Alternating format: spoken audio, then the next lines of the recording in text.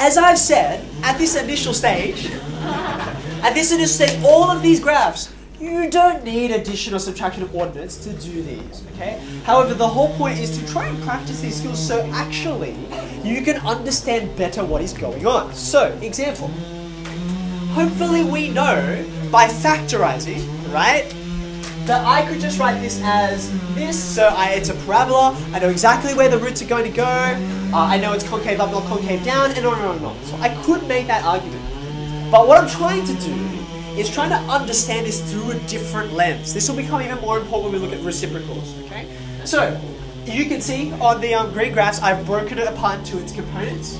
So really, I'm dealing with these two guys, okay? Now watch as I approach with the same process, because in some ways, right, for a lot of us, like, coming up with the graph of this is magic.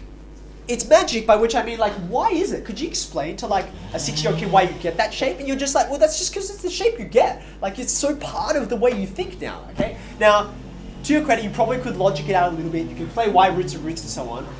But I can approach it a completely different way. So let's do it by addition of ordinates. Firstly, important points. What do you reckon is the most important point on here? I'd probably say the origin, right? Because look, at that point, both graphs are equal to zero. So when I add them together, zero. the ordinates I get are zero. Bam. In exactly the same way, just sort of moving over a little bit, right? There is going to be a point where this positive and this negative are exactly equal to each other and therefore will cancel, right? So I know I've seen this before. I guess it'll be somewhere like, I don't know, maybe there, okay? So I'm going to pop that value in there, and I happen to know the actual value, it's equal to 2, okay? And by the way, uh, you can do that numerically, right? You want this and this to be equal, right? Or this and this to be opposite. So 2 squared, negative 4, bam, you're there, okay? So now I know I'm here and here. Now let me think about this. Let's do the easy part first. Over on the left, right? Over on the left, I'm going to think about it from left to right so I can use my increasing and decreasing language, right? For my component functions, from left to right, what's y equals negative 2x? Is it increasing or decreasing? decreasing. It's decreasing. What about x squared? Also decreasing. They're both decreasing. So when you put together two things that are decreasing, they will both decrease even faster. Does that make sense? They're both going to be coming down. On the right hand side, this is a bit trickier, right? Um, have a look at this little spot in between here, right? What is increasing and what is decreasing? Now my question is, which one is more important? Which one is increasing or decreasing more than the other one? Like a tug of war, who's pulling harder? Okay, At the start, okay now, now if we look at this very carefully and slowly, this is the whole point of thinking about this in a different way.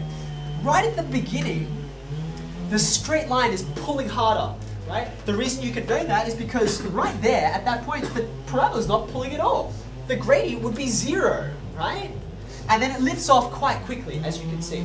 But for that brief moment, this guy down here, the pulling, the decreasing, is decreasing harder. So that's why it comes down, right?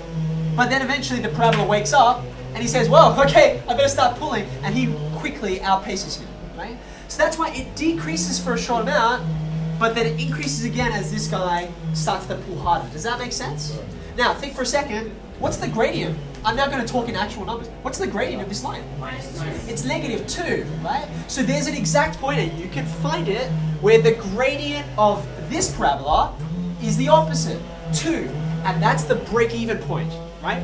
When this guy is pulling at 2, and this one is pulling at negative 2, they will cancel, and we call that a stationary point. Right? Why isn't that at one? Because, yes.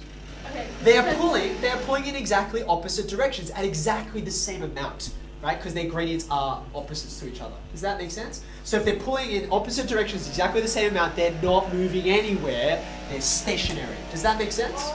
Which of course we know is it going to be exactly halfway between the roots because parabolas are symmetrical.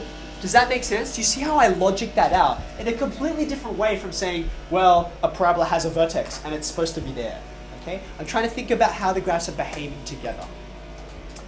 And lastly, uh, over here on the right, well, this guy's well and truly taken over, hasn't he? He's increasing, he's decreasing, but he's never going to catch up because he's always pulling the same rate. Okay? So therefore, that's how you get this shape that's going to increase forever. And we already know what's happening over on the left-hand side, like so. Okay? Does it make sense?